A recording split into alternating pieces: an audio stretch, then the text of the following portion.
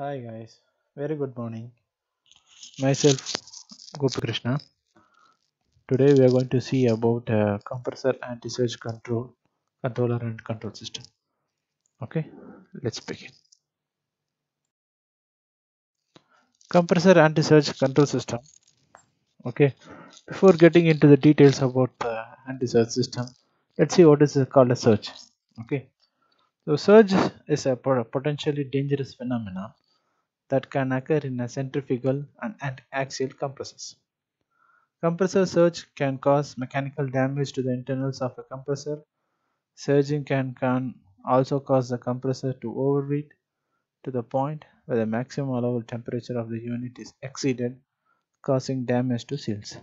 Further, surging can, uh, can cause damage to the thrust bearings due to rotor shifting back and forth from the active to the inactive side due to the high forces included by flow reversal. So for, for axial compressors, the damage may be measurable after only a few surge cycles. Compressor surge can occur in a fraction of a second, so a fast anti-surge control system is required to avoid compressor surge. Okay, this is called a small. It's a phenomenon. Okay, surge is like a small phenomenon. You have to avoid this phenomenon in the compressor to make it is working good. Okay, simply in simple terms, in surge can be described a situation where the flow through the centrifugal compressor is reversed intermittently. In other words, a gas is flowing through the discharge nozzle to the suction nozzle. Okay, let us see. That is called a surge. What is a surge cycle? Here, as above, the surge is a reverse flow. Okay, when the discharge nozzle is open and the, it goes to the reverse flow, due to this flow reversal, the system pressure at the discharge will be reduced over time Eventually, the compressor will again be able to overcome the pressure on the discharge side. Okay, if no corrective action we have not taken anything, the discharge will pressure will increase, increase, increase. The compressor will again surge. This is called as a surge cycle. Okay, so let us give. Let us see next. So, what is a compressor surge? So, the cause of uh, a surge are generally a function of interaction between the compressor and the piping system. There are three main causes of surge. First causes is a suction throttling. Okay, so if the in inlet flow is reduced such that the head developed by the compressor is insufficient to overcome the pressure at the discharge of the compressor. Okay, so there is a discharge. This is a this is called a suction throttling. It's like that inlet flow is reduced such that the head pressure developed by the compressor is insufficient to overcome the pressure at the discharge side. Okay, so this is suction side. Let us see discharge throttling. If the discharge side system resistance increases due to discharge throttling, then the pressure developed by the compressor will increase and the flow rate will start to decrease to such such an extent it will reverse. Okay, change in compressor speed and an uh, increase in operating speed of a compressor can also cause a compressor surge. Okay, the next cause how how to, how to avoid compressor surge. Fine, compressor manufacturers produce an operating characteristics map, sometimes called a compressor performance map. So each compressor manufacturer he, he will give a performance curve for each compressor. At this particular limit, you will get a maximum performance if you maintain all the parameters rightly. Okay. So this map, like we will show it in the bottom, the surge limit defines the flow at which, for a certain speed, the operation of the compressor becomes unstable. Okay. The compressor needs to be operated to the right of the surge limit, surge limit line. So a suggested operating line is also produced, which is a safe distance from a surge zone. How large the surge offset margin needs to needs to be depends depends on the speed of the instrument. Okay, the speed of the actuators and the speed of the fastest disturbance that should not trip the anti-surge open to backup system. So the operating line is usually in the region of 3 to 10 percentage distance from the surge limit line. Okay, so the operating too close to the surge line increases the chance of encountering a surge. and operating too far from the sun sufficient is insufficient. Okay so you have to understand the main point here. Okay so there is a region called 3 to 10 percent distance. You should not always operate near the surge limit or you should not always operate in the insufficient. So we have to therefore anti-surge control system is used to maintain the compressor close to the operating limit as possible. Okay let us see a comp see see here. In the here in the x-axis we have inlet flow volume flow. And the x-axis we have discharge pressure head and pressure ratio. Okay. So slowly these are the uh, performance limits of the compressors. So for the inlet flow it will get the discharge pressure. So inlet flow these are the different different levels of flow discharge and head and pressure ratios so there is a design point for 100 percentage flow 100 percentage flow and full flow. This is the point. This is the maximum design limit of the compressor. Okay this is the maximum design limit of the compressor. And this is called a surge limit. And these are the constant speed curves. Let's say 80 percentage speed 85 percentage 90 95 100 or not 5 constant speed curves. Okay this is the these are the curves. From these they will find an optimum efficiency right constant efficiency right? So we have to run through this thing. You should not go to the surge limit or should not go this is the design part. So both are difficult. So you have to maintain in the optimum design frequency. Sorry efficiency. Okay. So this is called a anti-control anti-surge control system. So how it is acting actually? So what is how it is controlling and everything? Let us see. Okay. So anti-surge control system surge happens quickly and conventional instruments control loops and actuated control loops usually fail to recognize the onset of the surge and it reacts too quick enough so for axial and centrifugal compressor are usually fitted with a dedicated anti-surge control system. So this is called a dedicated anti-surge control system. Typical components let us see.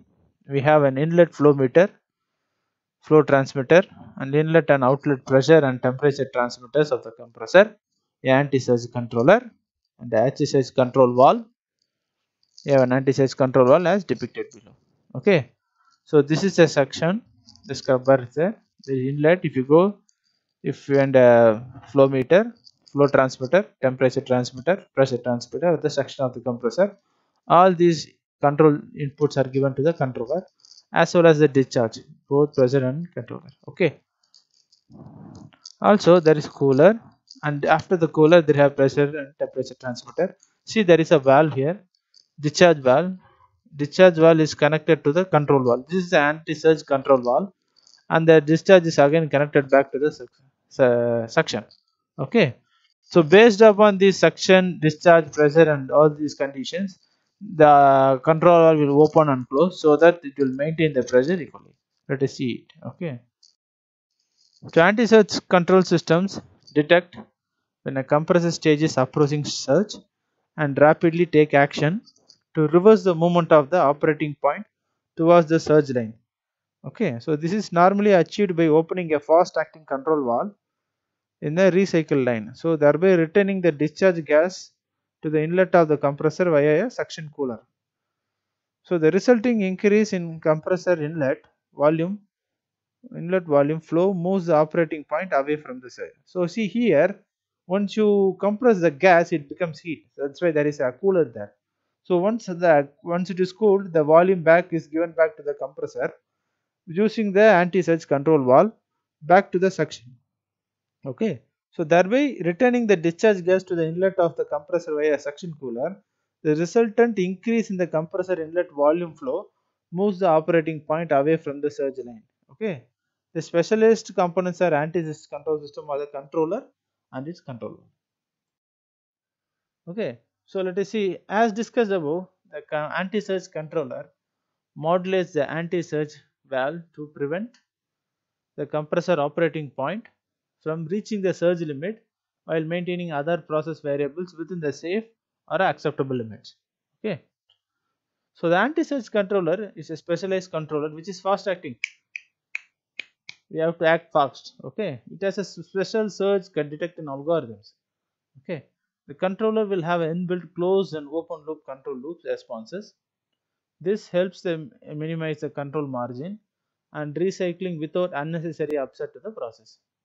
Okay, the more advanced anti-surge controller will automatically compensate for the change in gas molecular weight, temperature, compressibility, pressure, and compressor rotor speed.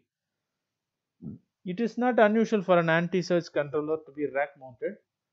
Okay, it may be an HMI, okay, it may be access to user systems, or it may be processed into DCS or data logger.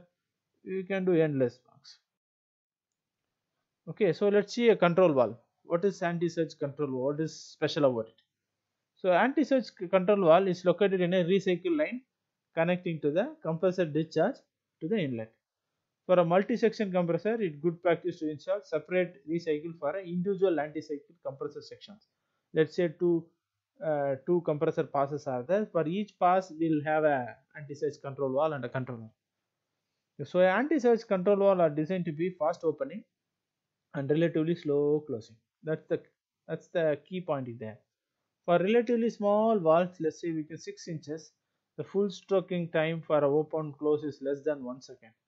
For a large anti-surge works uh, valves, the stroke time will be 1 to 1.5 seconds and for a very large it will be less than 2 seconds.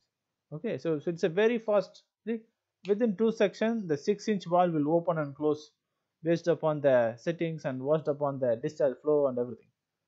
So a typical design for a 12 inch anti-surge valve would have an opening time of 1 to 2 seconds and closing time of 3 to 6 seconds. This is a fail. The very very important point what we see in this control valve is anti-surge valves should be configured to fail open. Underline the point fail open. This is very very important point. That is in loss of pneumatic signal. So let's say the compressor is a pneumatic operator, pneumatic air or air operated or hydraulic operated everything. In case of failure of air or everything, it failed to open. It should not be configured to fail to close. If it is closed, the discharge pressure will increase. There will be a problem and there will be a surge okay in case of pneumatic air failure the control valves are configured to fail open so that the, all the ga gas will go to back and the full fail safe condition this is called a fail safe condition that's due to no, that's a uh, loss of pneumatic signal either loss or intentional due to process trips or emergency shutdown system the valve will move to the fully open position okay to achieve high opening speeds, it is common for anti-surge valves to be fitted with volume boosters. So volume booster is a pneumatic relay that releases a small control signal and allows a large regulated flow to the actuator. In other words, a simple amplifier. Okay. So the volume booster should be mounted to minimize the interconnecting pipe wear successive excessive would introduce delay into the system. Okay, although in practice there are no real difference between anti-surge valve and a general control valve only uh, only difference may be this control valve systems fast opening time valves and special valves like that. Okay in markets we have like Mokveld, Kent Introl. Samson controls marketing anti-surge valves as special valves okay guys thank you and thank you thanks for watching the video. If you like the video click a like and uh, subscribe to my channel so that if any videos you can come back again and see. Any new videos but it will become to your system thank you thanks for watching